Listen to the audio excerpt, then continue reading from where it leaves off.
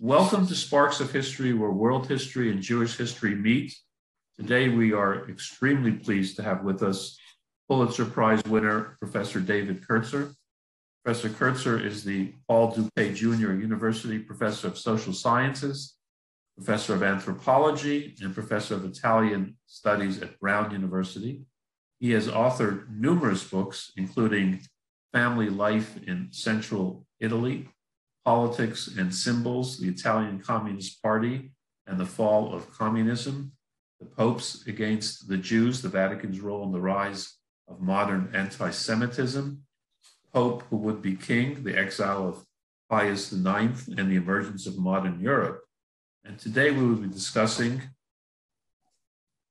the kidnapping of Edgardo Mortara in a fascinating account that reads um, like a fictional thriller, but is uh, historically deeply researched.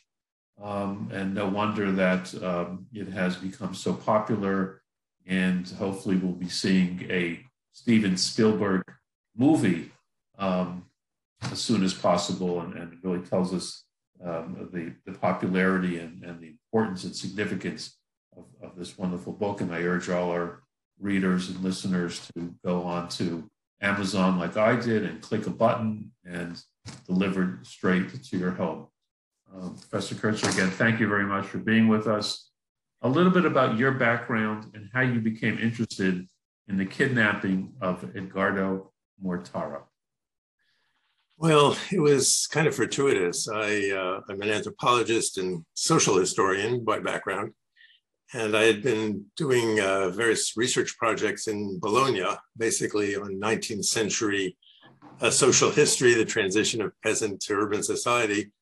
And a friend of mine, an Italian historian who's actually an American, asked me whether I knew about the Mortara case from Bologna. And I said, no, I didn't. And he said I should look into it. And I began as a kind of side project as I learned about it, uh, spending more and more kind of weekend time and evening time because initially I thought this was not really my my field, um, kind of 19th century Jewish history, one could call it. And uh, I was amazed at both how important the case was historically and how the extent to which it had been forgotten.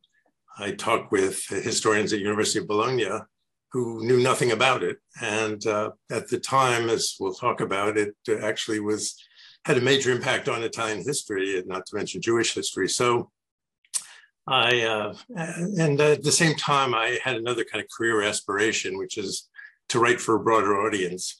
I had written a number of books, uh, mainly for fellow scholars, and I had reached a point in my career where I wanted to try to interest a larger audience worldwide in, in Italian history, which I find fascinating. And so uh, those kind of two forces came together and resulted in this book.